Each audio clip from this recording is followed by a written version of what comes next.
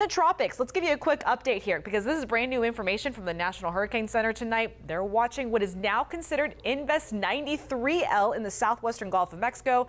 This could potentially be our next tropical depression over the weekend, but it will likely move towards eastern Mexico as we go through early next week. So no concern for us there. They've actually dropped the potential now of Invest 92L just off the coast of Georgia tonight they dropped the potential of that actually making it to a tropical depression. It is trying so hard to do so, but as this center gets closer to land, Tropical systems don't like that land interaction, so it's going to have a very hard time trying to develop. And if anything, the moisture wrapping around the backside of it is what's helping to kind of fuel our atmosphere and keep some of these stubborn downpours going along portions of Hudson all the way through central Hernando County tonight and even seeing some of that energy pulse out to the west northwest. This is causing some frequent cloud to ground lightning, so just keep that in mind may want to hang out indoors as you hear those rumbles of thunder off in the distance. But the actual cause of that, the moisture that's being associated with that, that will be continuing to pool away over the weekend, bringing some of those scattered showers along parts of the southeast coastline through the next 24 hours. That pulls some of those rain chances away from us as well.